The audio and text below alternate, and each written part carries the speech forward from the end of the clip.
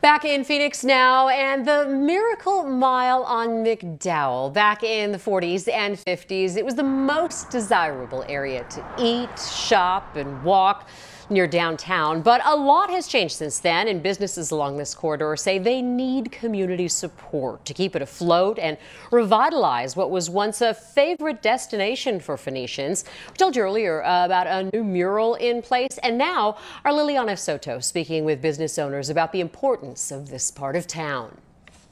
Right off the 51, it's Miracle Mile on McDowell Road. The Miracle Mile started right around 16th Street and McDowell from 14th to 18th. From 1940s to 1957, this was the premier shopping district of Phoenix. Michael Kelly coordinates the efforts to bring back Miracle Mile. As Phoenix expanded, uh, you had the new shopping malls open, and so this uh, became farther away from where people were living, and so stores started to leave.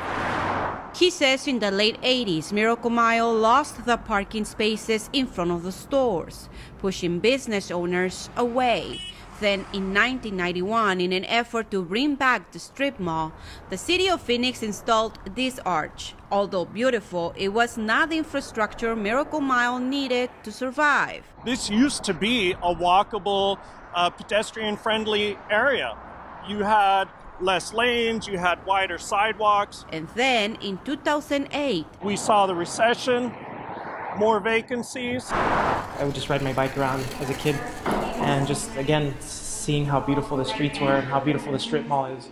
Um, and yet it was completely vacant, and I just could not comprehend why businesses weren't running to open here. Alejandro Larios is the co-founder of the Bohemia. Welcome in a coffee shop where you get to enjoy authentic flavors with a twist. So our most popular drink is the Café de Olla Latte.